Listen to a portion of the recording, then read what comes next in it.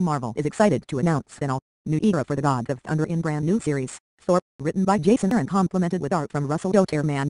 This October, Marvel Comics evolves once again in one of the most shocking and exciting changes ever to shake one of the big three of Captain America, Iron Man and Thor. No longer is the classic Thunder God able to hold the mighty hammer from Mjolnir, and a brand new female hero will emerge worthy of the name Thor. Who is she?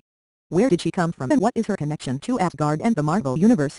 The inscription on Thor's hammer reads Whosoever holds this hammer, if he be worthy, shall possess the power of Thor. Well it's time to update that inscription, says Marvel editor Wil Moss. The new Thor continues Marvel's proud tradition of strong female characters like Captain Marvel, Storm, Black Widow and more.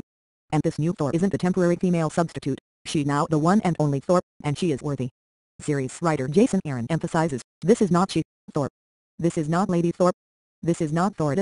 This is Thor. This is the Thor of the Marvel Universe, but it's unlike any Thor we've ever seen before.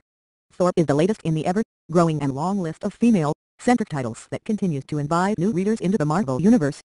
Thor will be the hot GTH title to feature a lead female protagonist and aims to speak directly to an audience that long was not the target for superhero comic books in America, women and girls.